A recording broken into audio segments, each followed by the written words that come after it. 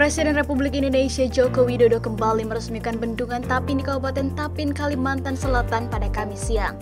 Bendungan dengan kapasitas tampung sebesar 56,7 juta meter per kubik dan luas sekitar 425 hektar ini nantinya akan difungsikan sebagai irigasi aliran pertanian, air baku, dan pembangkit listrik tenaga air di wilayah Kalimantan.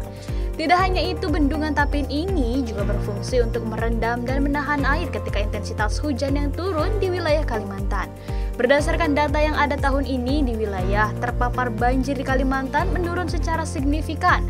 Proyek bendungan ini sendiri dimulai pada tahun 2015 dan rampung pada 18 Februari 2021 dengan memakan biaya sebesar 986 miliar rupiah selain untuk lahan irigasi pertanian dan pembangkit listrik tenaga air nantinya bendungan Tapin ini diharapkan sebagai salah satu sarana pembangkit sumber daya manusia di wilayah Kalimantan Selatan di sektor pariwisata.